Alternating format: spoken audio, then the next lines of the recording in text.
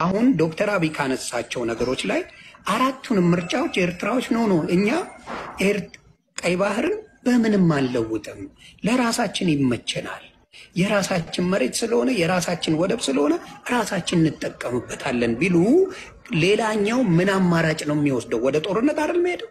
ሌላ አማራጭ አለ? ወደ ጦርነት አይሄድም። እሱን እኮ ነው። ለምንድን ነው ቆይ international ጋር ሲሄድ international ጥያቄ ነው የጠየቀኝ። ቆይ ስማ፣ ወደ international law የሄድኩበት ምክንያትም ይሄ ነው።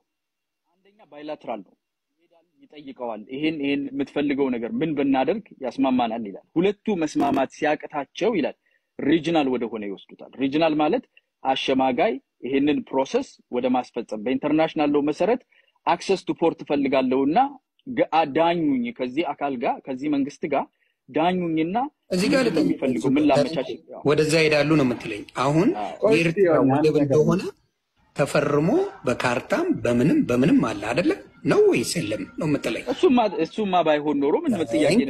በጣም ጥሩ። ስለዚህ በራስህ በሆነ መሬት ላይ ማን ነው የሚያሸማግል? እስቲ you tell me በራስህ መሬት ላይ international community ያሸማግልሃል። law ብታመጣም አምታምኝ international law ብታመጣም ኤርትራውያን ምን ይዘው ሄዳሉ? ኢሳያስ አፈወርቂ ይኸው መሬቴ የኔ ነው የተፈቀደልኝ የወሰድኩት በነፃነት የዛሬ ሀያ ምናምን ዓመት almost ሰላሳ ዓመት ተፈርሞ የተሰጠኝ መሬቴ ነው ወደቤ ነው ብሎ ይዞ ይሄዳል።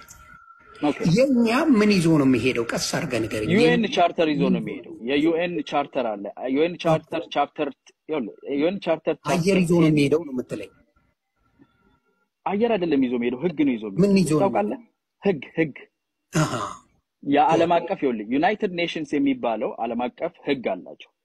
አንደኛውን መንግስት sovereign የሆነ የራሱን መሬት ሳታስገድድ የእሱን ጥቅም advantage ሳትጋፋ access to seaport ሁለት ነገር ነው የሚፈቅድልህ። አንደኛ seaport ን የመጠቀም gate international waters ን የማግኘት ነው። ሁለተኛ ደግሞ human heritage የሚባል ነገር አለ።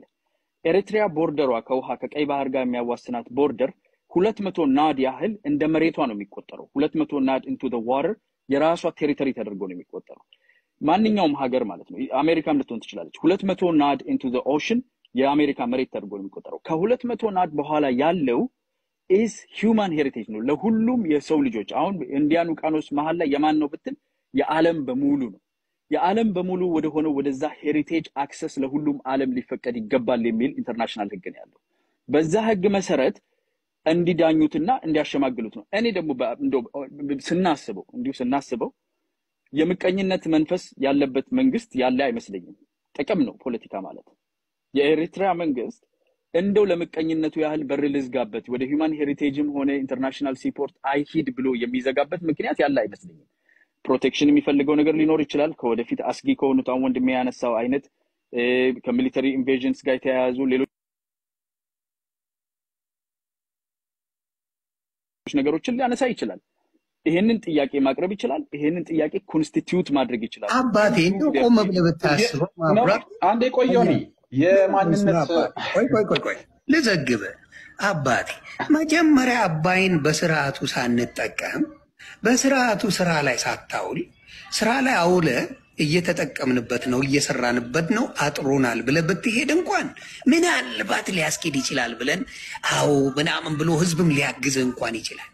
አባይን እንኳን በአግባቡ ልትጠቀም ያልቻልን ሞልቷል አልሞላም እያሉ ሸዋሸዋ እየሰሩ እየተጫወቱብን ሮጠ ያልተሰራው እዚህ ጋር ያልሰራው ነገር እያለ ቀይ ባህር ቀይ ባህር ስትል እንደው ትንሽ ለፖለቲካው ራሱ አይሰቀጥጥም? በዚህ ደረጃ በአሁኑ ሰዓት መነሳት ያለበት እንኳን